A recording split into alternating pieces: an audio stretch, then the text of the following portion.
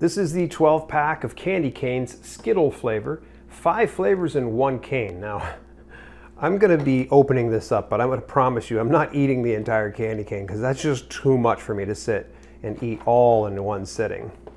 But it says, uh, you know, obviously the purple is grape, the strawberry is gonna be the red color, orange obviously is orange, green apple's the green, interesting. And then lemon is obviously yellow. So it's all in one, interesting, all right?